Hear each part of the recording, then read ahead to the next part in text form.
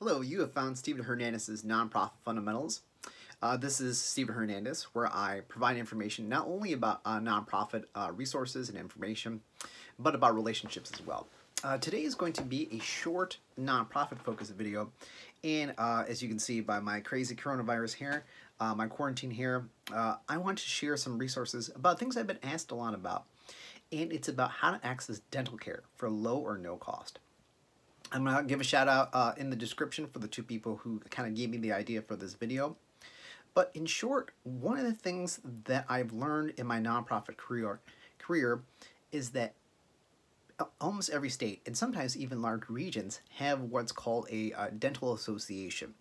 A dental association is a business association for all the dentists in that area or state, and many of them have a foundation.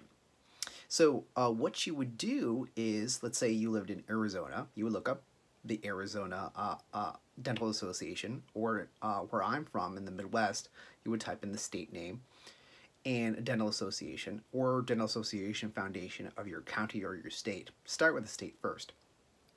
Now, most of these associations, their websites will be full of resources and information about kind of collectively what the dental community is doing in that region or state for a low to, uh, low to no cost dental care.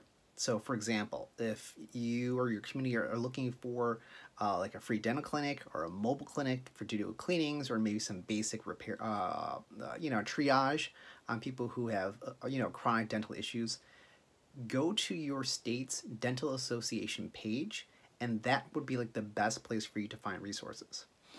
Um, so rather than kind of calling it patchwork kind of way, uh, what those associations will do will kind of get that all in one place. So you would be able to find out, like, you know, uh, does my local dentist participate uh, in these programs? Is there a mobile dental office in my area? So type it into your Google machine. I hope it brings up something helpful for you.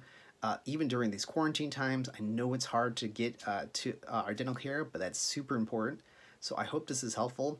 Uh, if you need dental care, definitely try to find that at lower no cost if you can. Those resources do exist, and your local dental association probably would be a good place to, uh, to search it out.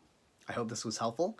Again, my name is Steven Hernandez. This is Steven Hernandez Nonprofit Fundamentals go ahead and click on the links I've provided for all the rest of my nonprofit videos or my relationship videos.